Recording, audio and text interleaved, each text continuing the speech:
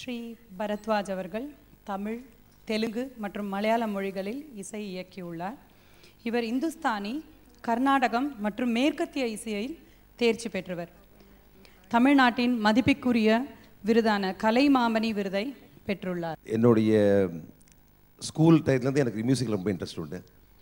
அப்போ மியூசிக்கில் வந்து ரொம்ப முக்கியமான சில விஷயங்கள்லாம் வந்து எனக்கு ஞாபகம் வருது அதை நீங்கள் சொல்ல விரும்புகிறேன் ஸ்கூல்லேருந்து மியூசிக் பண்ண அதாவது படிச்சுட்டு இருக்கும்போது எனக்கு வந்து மியூசிக்கில் இன்ட்ரெஸ்ட் வந்தது. I want to compose music as a music director அப்போ உங்களுக்கு தெரியும் வந்து வந்து எப்போவுமே நாங்கள் வந்து என்னோடய ரூமில் வந்து ஒரு எங்களோட ஃப்ரெண்ட்ஸ் எல்லாம் வந்து மியூசிஷியன்ஸ்லாம் வருவாங்க. நாங்கள் ஒரே சத்தமாக இருக்கோங்க. அதாவது ஒரு சமையலறையில் எப்படி ஒரு இன்றைக்கி மியூசிக் மேக்கிங் இடத்துல சத்தமாக இருக்கும் அப்புறம் தான் ஃபைன் ஃபார்மில் வரும் அது. அந்த மாதிரி ஒரு அந்த சத்தம் எ- எவ்வளவு இருந்தாலும் எப்படி இருந்தாலும் எங்கள் அம்மா வந்து செலிக்காமல் எங்கள் எல்லாருக்கும் அப்படியே டீ இதெல்லாம் ரெஃப்ரெஷ்மெண்ட்ஸ் கொடுத்துட்டே இருப்பாங்க. அந்த ஊக்கம் அப்புறம் நான் வந்து காலேஜ் கிராஜுவேஷன் பண்ணேன். கிராஜுவேஷன் பண்ணிட்டு நான் வந்து சிஏ பா பாஸ் பண்ணினேன் சார்ட் அக்கௌண்டன்சி அது முடிக்கிற போது முடிச்ச அப்புறம் நான் என்ன பண்ணேன்னா நான் வந்து இந்த மீன் வேலை வாஸ் கம்போசிங் மியூசிக் முக்கியமாக என்ன சொல்ல விரும்புகிறேன்னா என்னுடைய இந்த ஆசை இசை மேல் உள்ள ஆசையை வந்து அவங்க வந்து இன்றைக்கி தடுக்கவே இல்லை. ஒரு சில கால நாட்களுக்கு அப்புறம் நான் வந்து சிஏ பாஸ் பண்ணோடனே ஒரு யங் ஏஜில் இருபத்தி நாலு வயசில் நான் வந்து சென்னைக்கு போகிறேம்மா இசையமைப்பாளர் ஆகிறது அப்படின்ட்டு எங்கள் சொந்தக்காரங்களில் எங்கள் சம்பந்தத்தில் யாருமே சினிமாலையும் இல்லை இசைத்துறையிலையும் இல்லை. அப்படி என்ன ஒரு இசையமைப்பாளர் நடந்துக்கும் போது அப்போ கூட அவங்க வந்து ஒரு வாரத்தை சொல்லலை. நீ போயிட்டு வா அப்படின்னாங்க.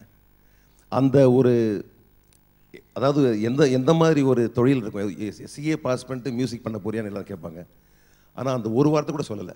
முக்கியமாக அதுக்கு வந்து அவங்க என் மேல் இருந்த அந்த ஒரு நம்பிக்கை அவங்க கொடுத்த அந்த ஆசீர்வாதம் தான் இன்றைக்கி நான் இந்த லெவலில் இருக்கேன். அதுக்கு நான் முதல்ல அவங்களுக்கு நன்றி சொல்ல விரும்புகிறேன் சினிமா துறை என்பது வந்து ஒரு சாதாரண துறை அல்ல. இங்கு உங்களுக்கு வந்து தினந்தோறும் உங்களுடைய இந்த உங்களுடைய திறமையை நிரூபிக்கும் ஒரு கட்டாயம் இருக்கிறது. அந்த ஒரு அன்சர்டன் உலகத்திற்கு நான் போய் இசையமைக்க போகிறேன்னு சொன்னபோது அவங்க வந்து ஒரு மதிப்பு தெரிவிக்கலை. அதே மாதிரி நான் சென்னைக்கு வந்து ஆரம்ப காலத்து எல்லா தொழிலையும் ஆரம்ப கஷ்டம் இருக்கும். இந்த தொழிலையும் கஷ்டம் இருந்தது அப்போ கூட அவங்க வந்து ஒரு முகம் சொல்லிக்கல நீ எப்படி ஏன் இப்படி இந்த இசைக்கு போன? ஏன் நீ வந்து சிஏ பண்ணியிருந்தா இப்போ எப்படி இருக்கலாம்?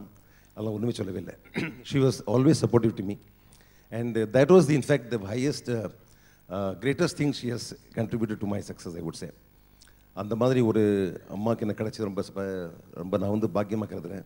எல்லா கஷ்ட காலங்கள்லையும் she was always playing for me இந்த மாதிரி இந்த படம் நல்லா ஒன்று ஓடணும் உன்னோட சக்ஸஸ் கிடைக்கணுங்கிறது. அப்படி வாழ்க்கையில் ஒவ்வொரு கட்டத்திலையும் வந்து அவர்கள் எனக்கு சப்போர்ட் செய்தார்கள்.